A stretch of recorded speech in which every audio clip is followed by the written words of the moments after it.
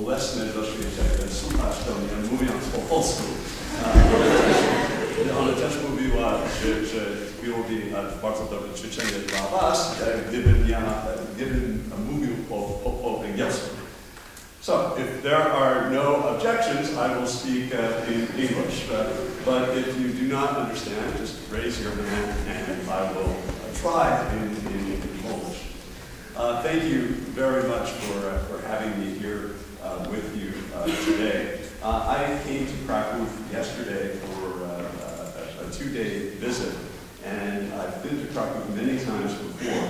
The first time I came to Krakow was in 1984, so long before any of you were born. And uh, it was in a very difficult time in relations between the United States and Poland. It was during the Cold War, uh, during communist times. Uh, to be an American diplomat in Poland was something very special, but also very difficult because the relations between our two countries were so bad. So every time I would leave my apartment in Warsaw, or I would travel to Krakow or to Gdańsk, I would always have secret police behind me, following me uh, every place uh, I would go. And every time I would meet, meet a Polish friend or visit uh, somebody in their apartment, uh, afterward, the secret police would always come to them and they would want to know why are you meeting with Americans? They are our enemy. And it was, it was very difficult because it, it made me afraid to want to meet Polish people because I didn't want to get them in trouble with the police. And so it was a very difficult uh, time in which to do uh, our, our job. Nevertheless, in spite of all of that, uh, I always felt very much at home here in Poland. There are many, many Poles who live in the United States. I'm sure some of you have some family who, who live there. There are about 10 million Americans who trace their roots back here in, uh, in Poland. And it's that close ties between our families, between friends, uh, between universities, uh, between the church uh, in the United States and the church here that has really built a very strong foundation for the relations between Poland and the United States, even when the government was uh, uh, not so favorable to, uh, to us here in Poland. So I left in 1986, uh, came back seven years later in 1983 to a completely new country. Poland was free, it was democratic, the economy was beginning to grow very quickly, and Poland very much wanted to join NATO. And so working in the embassy in Warsaw at that time, I worked very hard uh, to prepare the way for Poland to join NATO, and we finally succeeded. Poland was able to join in 1999. And it was a huge achievement that 10 years after uh, democracy came to Poland, Poland was admitted into this very important military alliance, which I am certain will guarantee Poland's security uh, far into the uh, far into the future. So I left uh, Poland in 1997. I've never dreamed I would be able to come back, but last year, uh, Secretary Hillary Clinton asked me if I would like to come back to Poland uh, to serve as ambassador, and it was a, a dream uh, come true for me that I had the chance to do that. And I arrived here in November And it's a very important thing for me to be able to go around and visit uh, parts of Poland as ambassador to keep that friendship that I discovered way back in 1984, to keep that friendship alive and, and, and prospering. Because when you're friends with a country, it- it's kind of like when you're married. Uh, you, you, you, you, you are, you feel secure and you're, you're glad to be in that marriage, but you have to work at it every day. You can't take it uh, for granted that uh, your wife is always going to love you. You have to show her every day uh, that you are worth loving. And, and so it's a very important part of my job uh, to make sure that the relationship that exists between our two countries continues to be strong and, uh, and to grow. And to do that, I concentrate, and my team uh, in the U.S. Embassy, we concentrate on three different uh, areas that I think are the most important for that friendship between our two countries. The first is uh, security.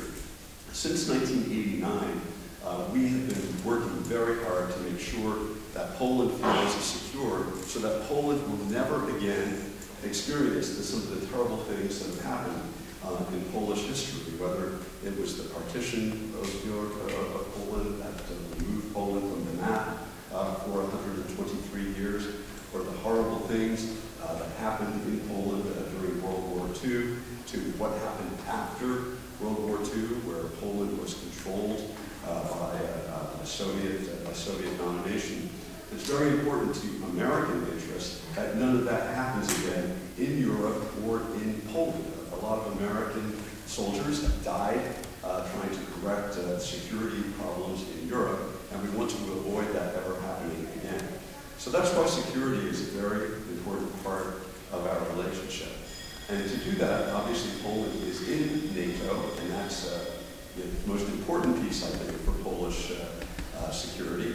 Uh, but we also work uh, outside, outside of NATO to make sure we have a good relationship directly between Poland and the United States. Back in November, we opened, uh, for the first time ever, a permanent U.S. military presence in, on Polish soil uh, in the Łask Air Base, uh, which is just outside of Łódź.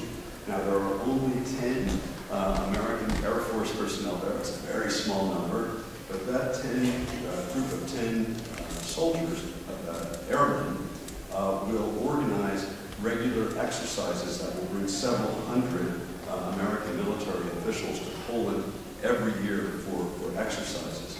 Looking a little farther into the future, we're also going to be opening on Polish soil with the Polish government a, an installation to defend Europe against missiles that could be fired from Iran, elsewhere in, uh, in the Middle East or, uh, or Asia. And uh, that will feature the stationing of two to 300 American troops on Polish soil uh, to help keep that missile installation up and running. So this, again, is different from Soviet times, where the Soviet army was here. No one in Poland ever asked the Soviet army to come. Uh, in this case, the Polish government did ask the United States uh, to put these military uh, personnel and facilities here. And, uh, and so we're glad to do that because we, we think it will strengthen our security relationship. Uh, the second major focus that I work on is, uh, and my mission works on, is our economic relationship between the United States and Poland. And I think here there is a lot more work for us to do. Uh, all of the trade between the United States and Europe, only 1% of that is between the United States and Poland. So something is significantly out of balance, because Poland is a much bigger country than 1% of the, uh, of the European Union. So we have a job, uh, I think, to bring that more into balance. And so we're very eager uh, to promote greater American investment in Poland. We very much welcome Polish investment in the United States. 10,000 Americans in the United States working now get their jobs from Polish investment in the United States. And we would like that to increase. Of course, there's a big American business presence here in Małopolska. Uh, we know that IBM, uh, Sabre, Google, uh, and many other, Motorola, many other American companies are here and are very happy to be here because Polish employees are hardworking, smart, and very innovative. And so we're trying to promote a greater uh, uh, U.S. investment to that because we think it's in uh, both of our countries' interests to do that. A, spe a special issue uh, in our relationship is in energy, and we're very strongly supportive of Poland's efforts to develop different sources of energy, so it's not just dependent on one country for, uh, for its energy. And so we're really glad that American companies are here trying to explore for shale gas, gas lupone, that's small, uh, as well as we're looking forward to having American businesses partner with uh, the, the, Polish uh, businesses in, in, establishing nuclear power here, as well as other kinds of alternative energy uh, supplies like wind and, uh, and solar, uh, solar power. So we think with American technology and experience, we can have a good foundation for working uh, with Poland in the area of energy. Um, the third uh, step we work on is democracy. Uh, and that uh, owes to Poland's really rich experience in becoming a democracy um, against some very difficult odds and becoming a democracy without shedding, uh, without any, shedding any blood. Uh, Poland's success in establishing itself as a democracy in 1989, we think, is a really good example for other countries around the world that are having a much harder time, including in this neighborhood. Uh, Belarus uh, is not a democracy. It's hard to be optimistic about it, but we think Poland, uh, Poland's experience, Poland's advice, uh, and Poland, Poland's activism diplomatically can have a really important impact in promoting democracy in places like Belarus. Ukraine is also an example. Ukraine is not as uh, in, in, in, as bad a position as Belarus is, but still it has a lot more work to do uh, to become a democracy. And we think that Poland can be uh, a really good example, a really good source of leadership. But it's not just about this neighborhood. We think in the Middle East, the Arab world, where the stirrings of democracy are beginning now, as well as in places like Burma and other, uh, other places in Asia, uh, we think Poland can be a very good example uh, to how to become a, a, free market, how to become a democracy in a way that improves security in the, uh, in the world. Democracy is a huge challenge. That we've been trying to work on it in the United States uh, for over 230 years, and we're still not perfect. We still have many improvements that we need to make uh, to, uh, to, to, to, improve ourselves. Uh, at the very beginning uh, of our uh, life as a democracy in the United States, in our Constitution identified as an important goal of that Constitution to create a more perfect union and that means that uh, we're never perfect. Uh, we're, we're, trying to get close to perfect. Uh, we'll probably never get there, but we have to keep working at it. And that's true of uh, every single democracy. In the United States this month, we're celebrating Black History Month. And this is uh, to bring lots of attention to the very particular history uh, of African Americans in the United States, who, as you know, uh, came to the United States as slaves uh, in the uh, 17th, 18th, uh, and 19th uh, century. And it was really only very recently that African Americans were guaranteed rights in our democratic system. Um, we couldn't really call ourselves a democracy if so many people were not able to participate uh, in our, our, government. And so we've been, been, making steady but strong progress over the past uh, a few decades uh, to make it possible uh, for African Americans to participate uh, more fully in our democratic life. And we're very proud in the United States that an important milestone in that struggle was the election of Barack Obama as president in 2009. And we think that it's a sign of the progress that we are continuing to make on this issue to make our society uh, fully inclusive of, uh, of, everybody so that everybody does have an equal opportunity to participate in our government and to have economic success and to otherwise contribute uh, to our society. And this is a challenge that every democracy faces. In some respects, in Poland, um, you have it a little bit easier because Poland uh, uh, does not have a lot of uh, minorities. Uh, the, vast majority of people uh, in Poland are of Polish descent. The vast majority of people have the same religion. They are they are Catholic, and the vast majority of people have a very similar kind of experience. The family has been here for many, many generations. But one thing I've learned in the 30 years that I've been working as a diplomat is the world is getting very smaller, uh, a lot smaller. And so, and that is true in Poland. One of the things I noticed since I came back here is how much more diverse uh, Polish political life is. There are now uh, two members of the parliament who are uh, from Africa. Uh, and they speak Polish and they do very well uh, in, in the parliament. This would have been unthinkable for me when I was here uh, back in the 1980s. There are growing numbers of different religious minorities. Uh, there are growing numbers of different ethnic minorities. And so as the world gets smaller, as Poland becomes more integrated into Europe and the rest of the world, your society is going to become a lot more diverse.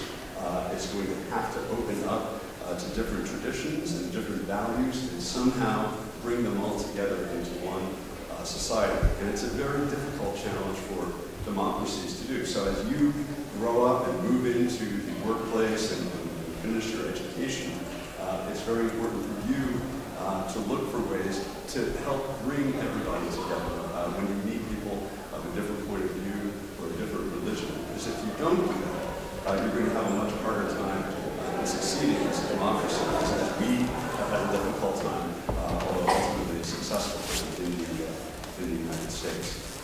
So I will uh, end my remarks there. I would be really happy to take your questions on anything you want to uh, ask, uh, any criticism or any ideas, uh, anything. I would be really open uh, to, uh, to listen to your comments and uh, questions. Może być po polsku albo po angielsku. To jest wasz, wasz wybór. Dziękuję bardzo.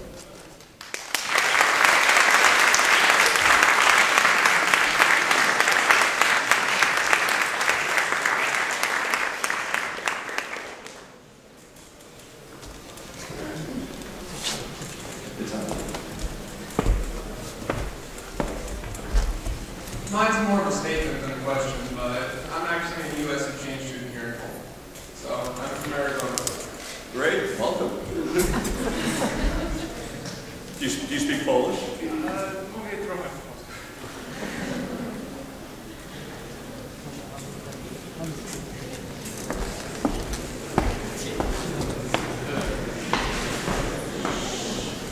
Like to ask you about the immigration laws in the U.S. How do you see the future of the DREAM Act and the development of the immigration policy in general in the U.S. in the next couple of years?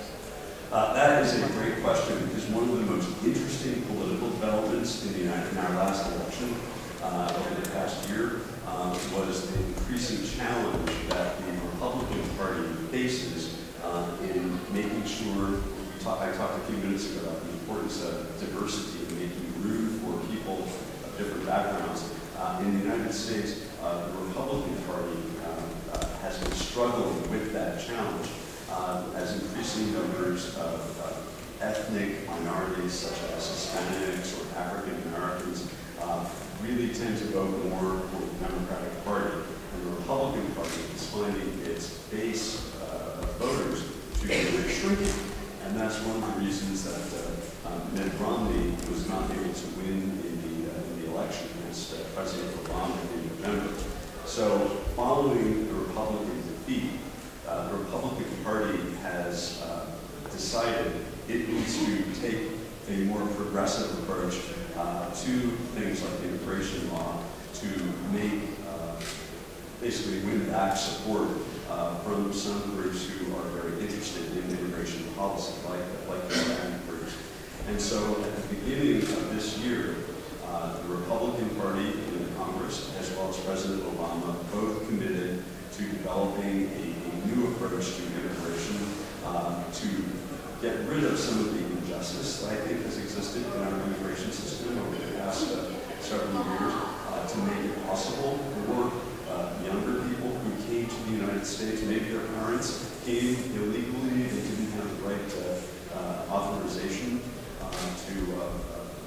come to the United States, they brought their children. Their children are living, working, and studying uh, in, in, America. So uh, last week, uh, a, a, group of Republican and Democratic uh, members of our Congress indicated uh, a new framework, announced a new framework for reforming our immigration law uh, to make it more liberal in terms of, of allowing people who have been here, especially immigrant people, to give them a path whether it's the DREAM Act or, or some other uh, uh, title, uh, to make it possible for them to stay and become contributing members of our, uh, of our society. An important dimension to this, from my perspective, is um, our visa law. Uh, one of the uh, questions I get all throughout Poland is why do Poles need visas uh, to travel to the United States? And that is, it's because of our law. To, to apply for a visa, whether a country needs visas or not to come to the United States, um, it's determined by some very uh, specific rules in our law. It's, it's a lot like applying for a driver's license. You need uh, to meet certain qualifications, and if you meet them, you get the driver's license, and if you don't meet them, you don't get the driver's license. And it doesn't matter if we like the country or don't like the country or agree with them have good or bad relations. It's all about meeting these requirements in the, uh, in the law. And Poland uh, meets almost all of the requirements to participate in the uh, program that uh, gets rid of the visa requirement, except for one, and that's um, a country can have no more uh, than 3% of its people who apply for visas be refused.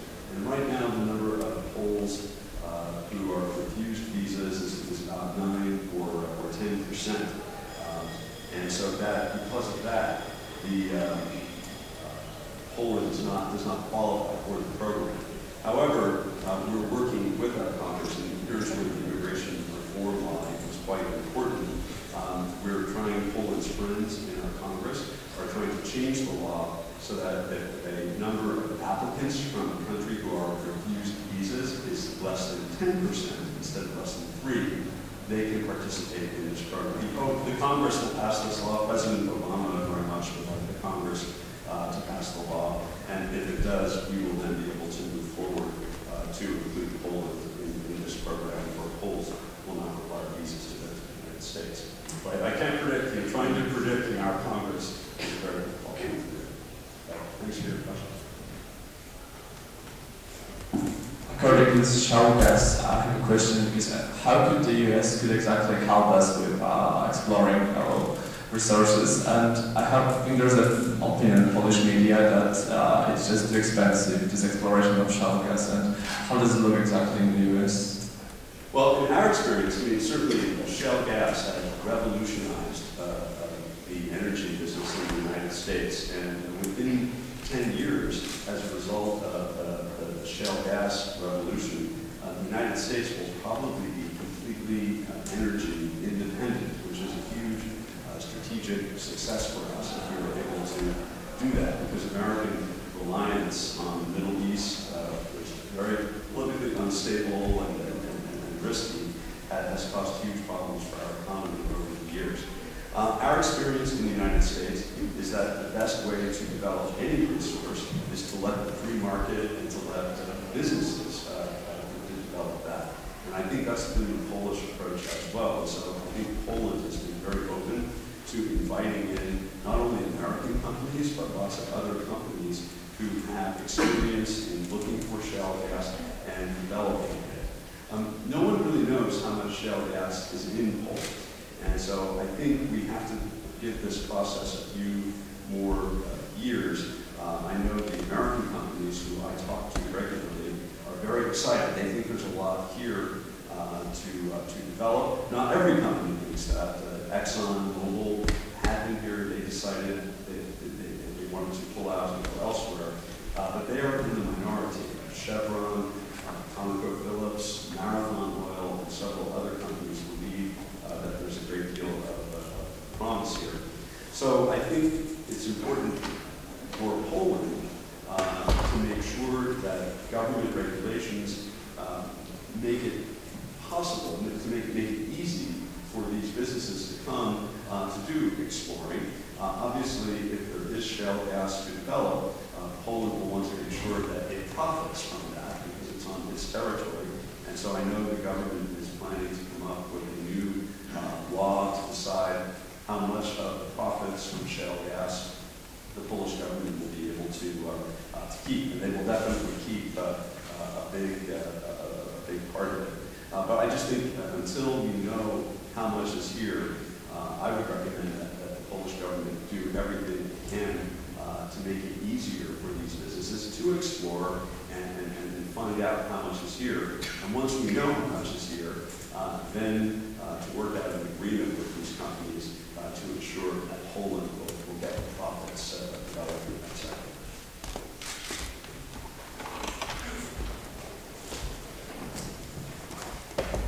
Uh, As far as, as, as far as I'm concerned, we work in uh, different places in the world, like Bahamas, in South Africa, Lithuania, and Poland as well. And uh, my question is, which of the countries do you enjoy most and why?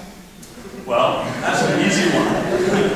the country I enjoy most is the place where I've worked three times. That's, uh, that's, uh, that's here uh, in Poland. And, and why I really like it here is because, uh, well, on, on different levels, uh, Poland, uh, really the most important things in my personal life have happened while I worked in Poland. So when I got married, uh, the first uh, place I worked with my wife was here in Poland. So we started our life together here in Poland.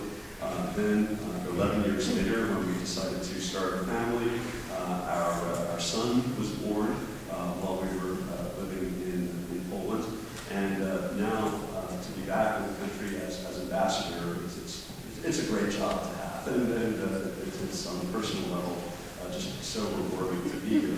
But also looking from a more historical perspective, when you look at, at what has happened in Poland um, over the last uh, 30 years, uh, it's, it's, it's, really a miracle in so many respects. Uh, and uh, I think the Polish experience in going from a, a, an economy that was in terrible condition uh, to go from a political system uh, that was very repressive, very anti-democratic, and in the course of, of just the less than 30 years, uh, to become one of the most vibrant economies in Europe, uh, to become one of the strongest democracies uh, in the world.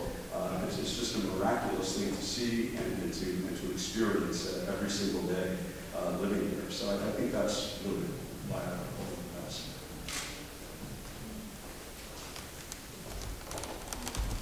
What is the biggest challenge you expect to have in Poland? The, the biggest challenge, I think, um, is um, it's, it's interesting. Um, in the 90s, when I worked here, um, Poland had just uh, managed to uh, escape uh, Soviet domination, Soviet control, and so Poland was very uh, eager uh, to establish its security so that it would not be dominated again by another country. And so um, automatically, the Polish leadership the 1990s uh, looked for that guarantee from the United States, and that's why we worked very closely with Poland uh, to bring um, uh, Poland into NATO, into a very close security relationship uh, with, uh, with the United States. So now uh, that Poland is much more secure, is in NATO, uh, over the past uh, um, 10 years or so that Poland's been a member of the European Union, um, there's been a lot of money coming from the European Union into Poland, billions and billions of euros, and you can see it everywhere, in the highways, in the schools, uh, and various technology that's come to Poland. And so I, I think because of uh, the economic benefits that Poland has won from its membership in the European Union, uh, that Polish politics, uh, Polish um, international affairs tends to concentrate on its relationship in Europe. And so that's a good thing because the United States is a very strong supporter of a united, integrated Europe. But it, it, it creates a, a bigger challenge to, to just remind that you know, the United States is an important friend of, uh, of Poland also, and we want to work very hard to keep that friendship uh, uh, going. So obviously, the American government is not providing tens of billions of euros to, uh, to build uh, highways and, and uh, improve schools.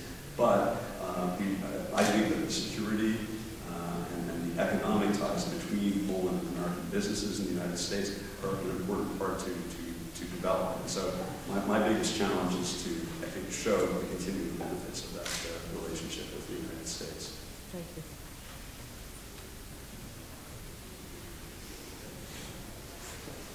I have one more question about, uh, right now there's a conflict in Mali and uh, also the, there's, the Mali friends is fighting right now, also the US uh, takes part. And I have a question, do you know what the United States is going to do there? I don't know, is it going to be like in Afghanistan, Iraq, or there's their strategy they're going to do there? Well, we're, we're really concerned, as are many countries uh, uh, in Europe as well as in Africa, that uh, in places where the government is not so strong or the security institutions are not so strong, like in northern Mali, uh, that it becomes very easy for terrorist organizations uh, like those linked to Al-Qaeda uh, to operate in these territories, much like uh, Al-Qaeda operated in Afghanistan uh, more than, uh, more than 10 years ago. And um, so we very much support, uh, France decided that uh, it obviously wanted to intervene militarily to help the Malian government establish better control um, over this territory in the, uh, in the north. So we very much support French, uh, we share French, uh, French goals uh, to reestablish uh, security in that part of the, of the country. France has asked us for some military and intelligence support, and uh, we've been able to provide that. Uh, however, we are not going to be sending uh, American troops to be on the ground. In fact, it seems like the French have been quite successful in their goals, and we're not looking, you know, the United States has been in two wars uh, for the last 10 years, and we're not looking to get into any more wars. In fact, uh, we're looking to, end wars uh, uh, uh, as soon as we can uh, without endangering uh, security. So we, we have full confidence in what the, the French have been able to achieve.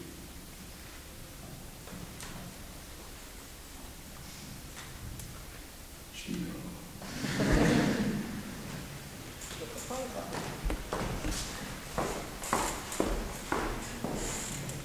From your experience, what's uh, the general opinion of Americans about Poland?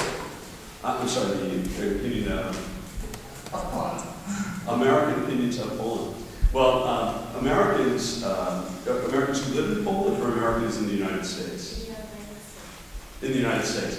The um, people have really, they, first of all, because there are 10 million people in the United States who have Polish roots, uh, everybody feels like they know some piece of uh, uh, some piece of Poland.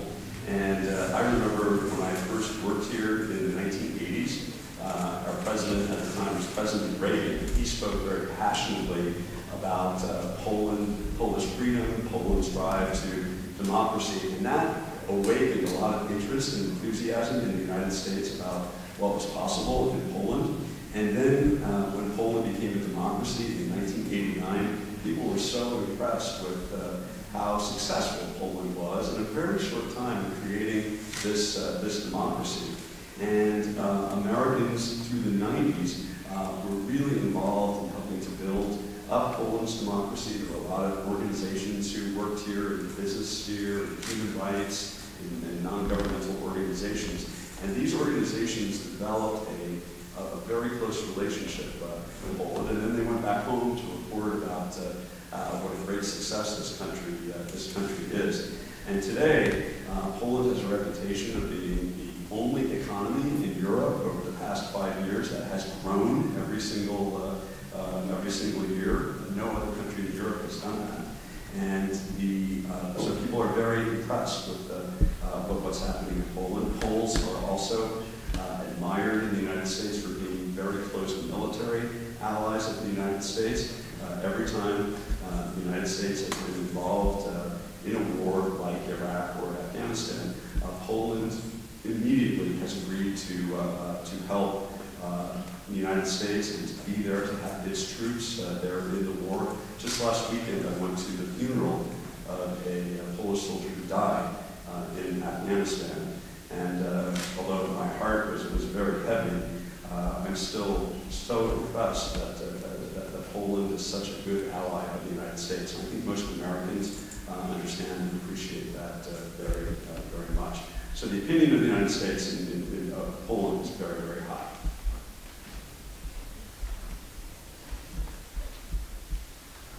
Yeah. I wanted to ask about um, guns accessibility in uh, America, like, uh, because it's like the major issue that we hear about in Poland uh, lately. And what is your opinion on the, on the topic? And what is the government doing to prevent uh, this, the, like this shootings from from happening?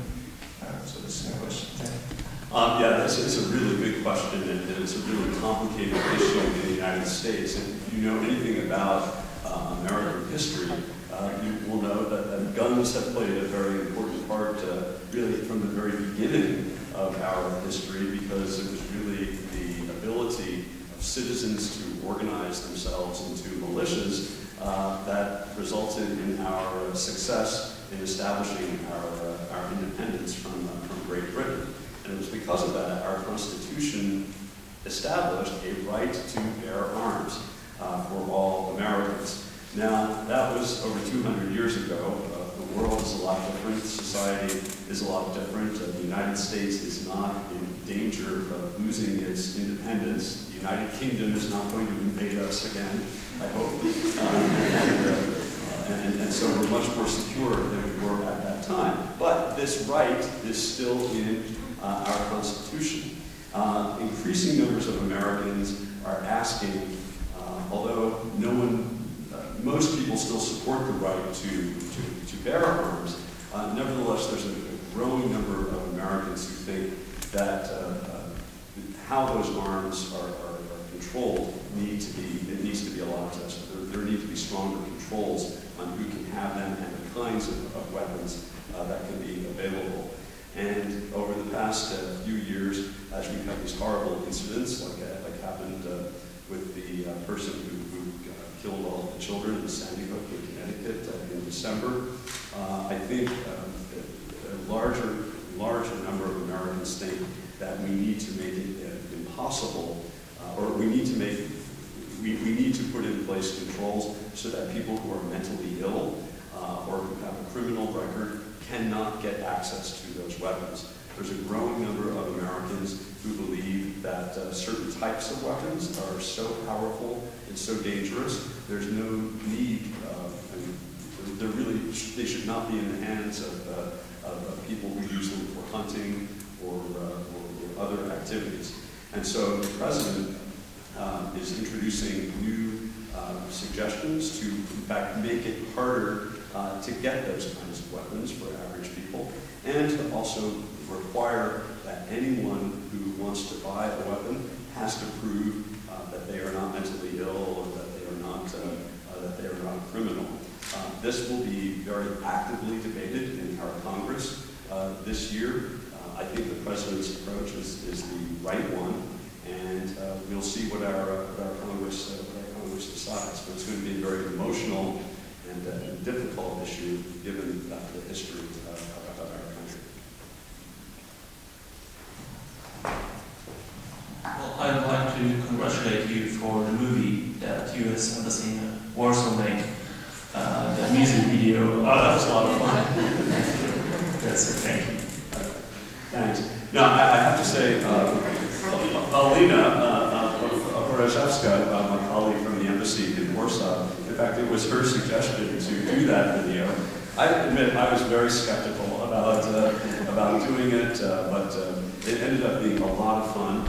Uh, it brought our whole embassy team uh, together, and it, it, actually made me a star back home uh, in the United States. much to my surprise, I was standing in line at the bank. I was home at Christmas time, and I was standing in line at the bank, and someone came up to me and said, I saw your music video.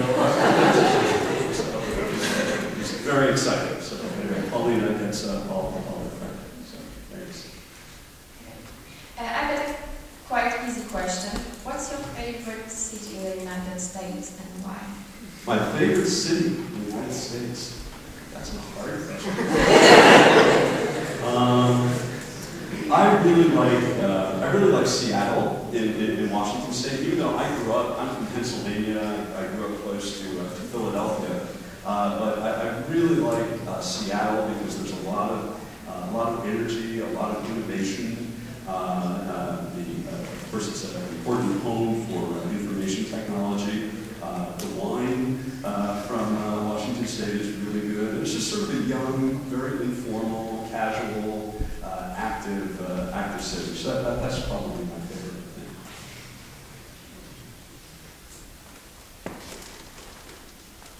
Well, John Kerry is going to be your boss now. Is, Is my boss, that's right. We just started Do you think he'll be different from Hillary Clinton? Yeah, um, yes, uh, I think it will be, uh, even though um, they share many of the same views about what our foreign policy should be. Uh, but it will be quite different. Working, working for Hillary Clinton, which is what I did in my last job, was just one of the best experiences ever. She's an incredibly uh, talented and hardworking uh, leader and uh, really had a huge impact on the, uh, on the State Department.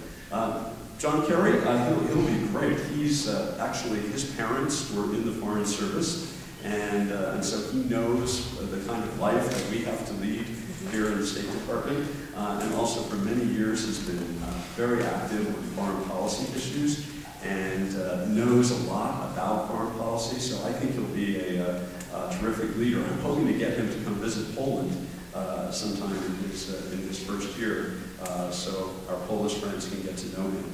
Uh, He should come to Krakow. Well, I'll try to work on that. And how about Hillary Clinton's future, career prospects? Well, uh, she said uh, last week she was just looking forward to getting some sleep uh, because she didn't do uh, a lot of sleeping over the past uh, four years. And of course, many people think that she would uh, make a very good president. Um, and we'll, we'll see what she wants to do. Uh, and I, I think she would make a great president, but obviously she'll have to decide. Do you think the Americans will bear a woman I think- American? I think so. I do think so. She, she is the most, uh, of course, when you work as Secretary of State, you're out of politics. And so when you're out of politics, it's easy to be popular. And so she, I think, is the most popular uh, political figure in the United States, man or woman, uh, today. Uh, so depending on how she, what she wants to do, uh, if she decides to run for president, I, I, I think, I think the United States would definitely be ready to, uh, to elect her. We will support her. Uh, unfortunately, we have run out of time. Oh. So no more questions. Uh, it's been an honor to have you here with us. Uh, we still have um, uh, two students to talk to you, so we'd like everybody to leave the room as quickly as it is possible because we have to stay here with the ambassador and have an interview. All right? Thank you very much. Thanks a lot.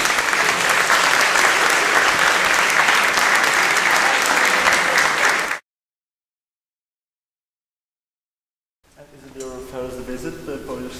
Uh, to a Polish high school. This is the first Polish high school I've visited.